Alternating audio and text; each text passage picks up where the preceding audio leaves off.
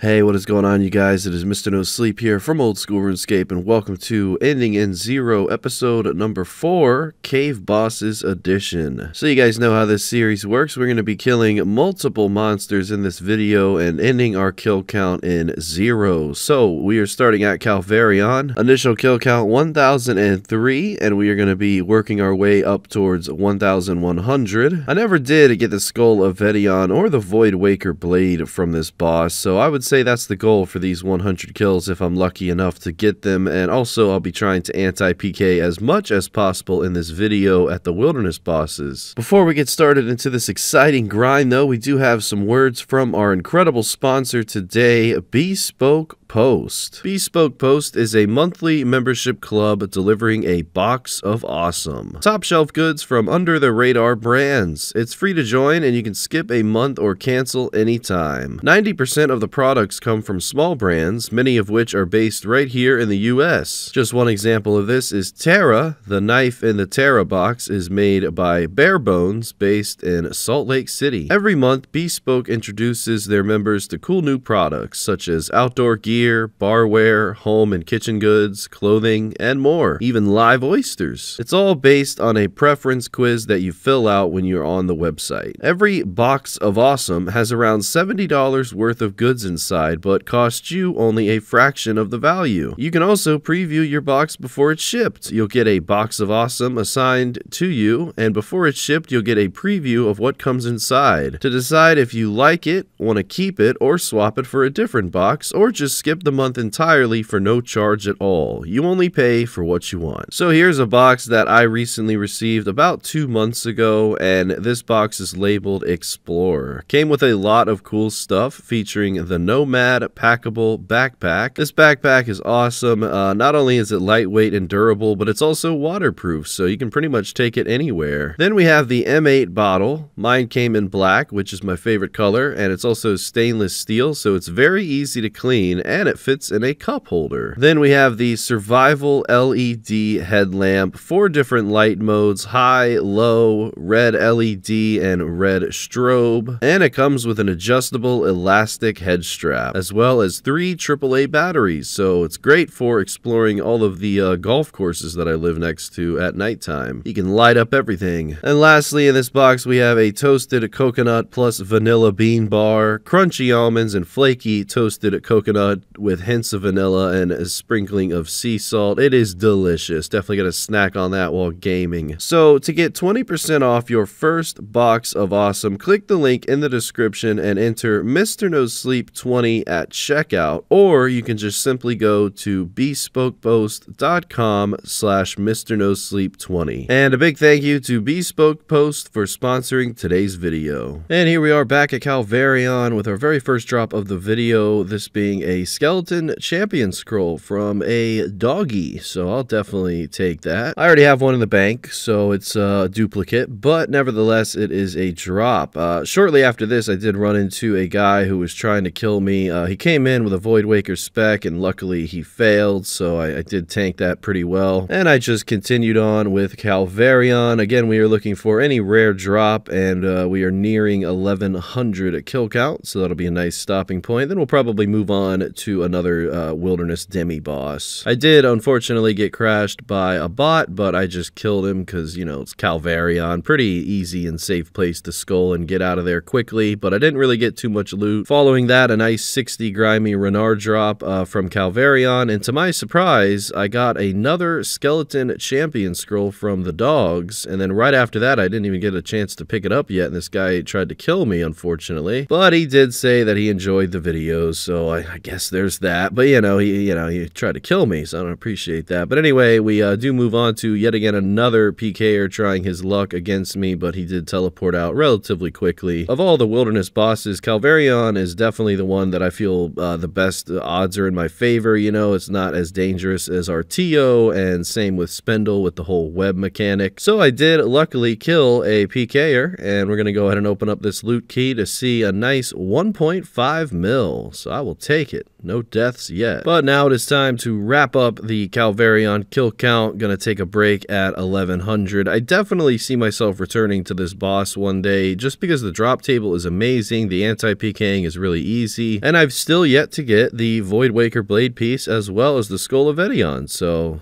yeah, I have to return eventually. But anyway, we're going to go ahead and update the high scores, and there we see the 1100 Calvarion. Now it's time for Artio. I'm sure you guys remember Artio. This was my most recent video about 12 days ago doing loot from a 1000, and I apologize that it took 12 days to upload this. If you want to know the truth, this video's been ready for the last 6 days, but due to some reasons, I had to stall the upload. So I do apologize. Sometimes it's just out of my hands. Now, we did get an Elite Clue Scroll casket early on, so I did do that quickly and I banked it. So we'll be opening up all of them at the end of the video when we get to the price check. Now, as I was entering the Artio cave, I did run into a PKer and I was just going to let them damage me for a little bit and then I was going to plan my strike. As you can see, not only do we have the Void Waker, but we also have Dragon Claws, so a little bit of overkill. And as you guys can imagine, if they're praying Smite, might, they virtually have no chance of surviving these two special attacks. So Jarsip 96 uh, was taken down, and we go ahead and open up this loot key to see a nice 500k. It's not the biggest PK, but I will take it. And here we go, 1100 Artio has been completed. Uh, I did get a long bone, I did receive an elite clue, and another nice PK, but other than that, no rares yet have been seen in this video. Gonna go ahead and update the high scores, and that'll look uh, very nice, clean 11 700 to match up with Calvarion. As you can see, I'm only 400 Callisto kill count, so I really got to get that up in the future. Too bad it's impossible to kill, though. All right, moving on to Spindel. We're going to go ahead and kill exactly 100 of these, because this was actually one of the few bosses that I actually had a 1,000 kill count exactly at, so uh, I really didn't even have to mess with it, but I wanted it to match with the other Wilderness bosses. I really love killing Spindel. It's just so easy, especially compared to Venenatis, but all of a sudden, a maxed mage showed up up and interrupted my PVMing. Not too sure what pet that is. I think it's the gargoyle one. But anyway, we were just ranging each other. I did have two special attacks, but I was tanking on brews, so I had to be a little bit careful. Whenever I'm in a situation like this, I'm always going to stay in the room with Spindel because odds are I'll have better chances of killing this guy when there's a big spider helping me out versus just outside the cave soloing him, you know? And my plan actually worked. I timed the special attack at the perfect tick and Spindel did the remaining remaining damage. And as you can see, I was panicking so hard, I almost died by Spindel and the web. That web is the worst thing ever made. So I actually did escape and I opened up that loot key to an astounding 30.3 mil. And that's why I love anti-PKing. You never know what can happen and you never know what you're going to get. But yeah, after that amazing 30 mil, I did get a dragon pickaxe on my very first kill back to Spindel. Following that, another PKer that tried to kill me, but he gave up. So I just kept on uh, uh, with the inventory. And yeah, the Dragon Pickaxe drop was a nice 1.6 mil. It has gone down just astoundingly since these Wilderness bosses were released, but uh, I guess that's okay. It stayed at like 7 mil for a long time. Other than that, I did receive some Grimy Snapdragons, which is about 500k, and of course another Elite Clue Scroll right towards the end with about 11 kills left to go. So I did that Elite Clue, and we put the casket in the bank, and we'll be again uh, saving all of them towards the end. And after about about two and a half hours, uh, Spindel was completed. So there's Artio, Calvarion, and Spindel, all at 1100 KC exactly. I'm sure that I'll get 2000 KC in each of them uh, one day soon. It's actually one of the best money makers in the game to be killing these bosses, especially Artio, because the Void Waker piece is like double the price of the other Void Waker pieces for some strange reason. But anyway, after updating the high scores and seeing the clean 1100, I figured I would go do a boss that's not a cave boss, but it is a snake, and that's none other than Zulrah. The reason being is because I only had to kill it like 16 times, so I figure I'll come back to it in a future ending in zero video and kill it another 100 times, or maybe even more, to get closer to 8000 KC, but either way, I did receive one drop, and that being another Elite Clue Scroll, so you know what's going to happen with that. And after all of that, uh, you know, probably less than an hour, I did receive 7300 KC 3. So that's a decent amount of Zulrah kills. Um, you know, they date back so long, so a lot of the collection log is missing, unfortunately, but one day I do plan on finishing it up. And there you have the updated high score KC. So now I need some Mossy keys. I never kill Bryophyta on this account, just on my Iron Man. He's got a clean 100 Obor and 100 Bryophyta. So now it's up to my main account to hopefully match that kill count one day, but nevertheless, I need to get ranked for that Moss Giant boss. So I'm going to be in the wilderness here where the drop rate is uh, reduced to half of what it originally is other places in RuneScape to get that key. So we're going to try to obtain as many mossy keys as I can uh, while we're using a cannon and a web weaver bow. And I did not expect to run into a PKer at the entrance uh, near the Revenant Cave, but I guess it kind of makes sense because I guess uh, a lot of them do teleport up there. Yeah, the fight didn't last too long, but the Void Waker definitely pulled through, especially considering I was wearing a uh, Chompy bird hat. I did not expect to kill that guy, but I guess he just didn't expect any anti-PKing from me. Go ahead and open up that loot chest to uh, 13 mil PK. I guess that guy was only using a ballista for special attack, and yeah, what a weird inventory. I mean, I don't know what he was doing, but nevertheless, I will take another 13 mil to the price check. Back to obtaining as many mossy keys as I can, and I gotta be honest, I was getting very lucky with this. I think I got over 20 keys in less than a thousand kills here, so I got a lot of RNG when it comes to uh, obtaining these mossy keys, and I really didn't mind doing this. I mean, I think it took less than an hour, and you always have that availability to run into a PKer who's uh, teleporting directly to the Rev Cave, so anti-PKing is there, the cannon speeds this up so quickly, uh, as well as the Web Weaver bow, so I can definitely see myself getting 100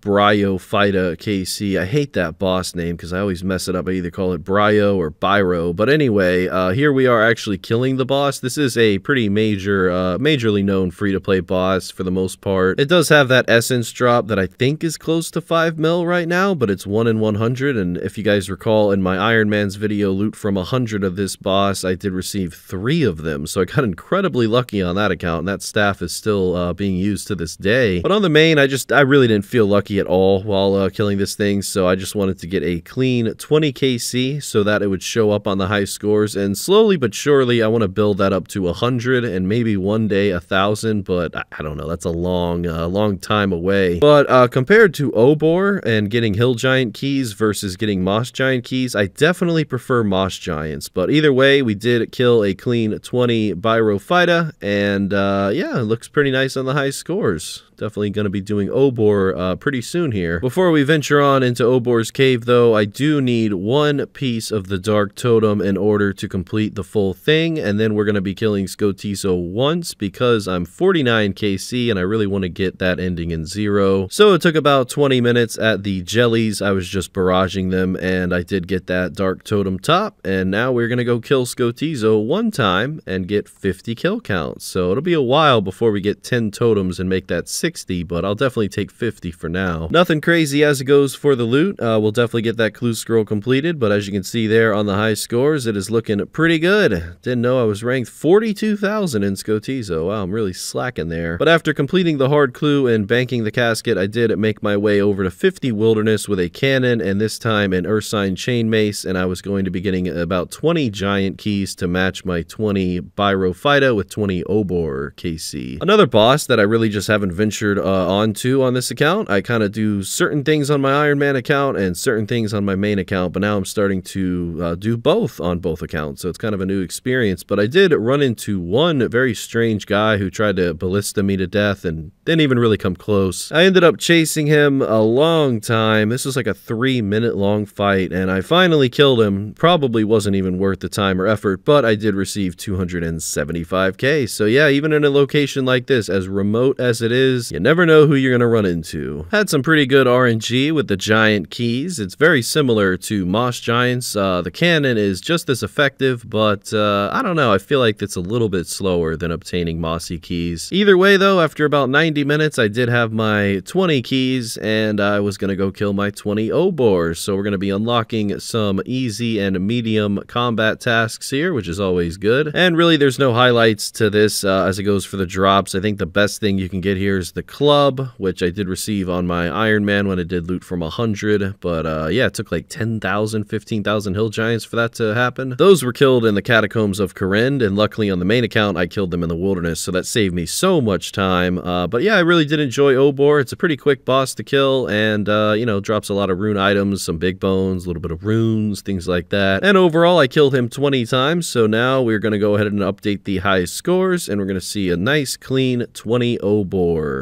Definitely need about 80 more uh, in both of those bosses for that to look, uh, you know, decent. All right, on to another cave, and this one is going to be Zolcano, starting at 1218 and ending at 1300. Still missing the crystal seed from the collection log as well as the Smolcano pet. I saw a crystal tool seed actually very early on here by someone. I was just doing this in the normal worlds and it was very fast. Uh, pretty good money. I think it averages out to like 800k an hour, maybe a little bit more, maybe a little bit less. But yeah, Zolcano is very fast. Uh, I look forward to doing it uh, long term whenever I do Song of the Elves on my Iron Man account. That and pickpocketing is one of the two things that I really want to get into on that account soon. So it was nice to refresh my memory on how to do Zolcano and all that. And just in general on this series, it's nice to do so many different activities and kill so many different monsters in RuneScape. So it's nice to visit uh, some places that I haven't seen in quite a while. As you can see, the loot just continues to stack up uh, well over 150 crystal shards at this point and tons of ore as well as bars and gems and a decent amount of onyx bolt tips. Didn't see a rare or anything crazy in 1300 KC total, but we did go ahead and update the high scores and we see that 1290, which was originally 1218, turn into 1300. So that was pretty nice. Got that taken care of uh, somewhat quickly. Took a few hours. I was using World 375, but uh, if you are in the USA, I do recommend 378. But now, ladies and gentlemen, it is time for Dagannoth Kings. As you can see, as I entered the cave here, didn't really go too well. Died right away, but that's okay. You know, practice makes perfect. Did get an elite clue scroll very early on, and uh, to my surprise, crystal works excellent here. So it was my first time using my crystal setup with the range, and I did receive a Berserker ring uh, in the very first inventory, so that was awesome. Berserker ring's about 3 mil right now, so I will take that. and went up a little bit. And yeah, Dagannoth Kings are a little tricky because you have to end every boss with a zero, which means that I'm going to be eventually killing just one of them or just two of them, and I can't kill the other one because I don't want to mess up the KC. So I think I went with uh, Dagannoth Supreme to be the last Dagannoth that I end in zero, and first one was going to be Prime, then Rex. So killing Prime, I wanted to reach about 4,400, so that was about 100 kills total, maybe a little bit less. Seer's Ring actually skyrocketed to 900k, so it would be nice if I can get a Seer's Ring drop, but luckily no Warrior Ring yet. Uh, still no Archer Ring though, which is a decent amount of money, so hopefully I'll see some of those. But I did get a couple Seerculls and Archer Helms. There's another Berserker Ring. That is awesome. A lot of Mud Battle Staves. Those are all like 1 in 128. Same odds as the rings, I think. So, uh, yeah, I mean, it could be anything here. Your luck just, you know, you kill a lot of these things, you'll eventually have lucky inventories and unlucky inventories, but still happy about that Berserker Ring, and all these uh, bones are noted anyway.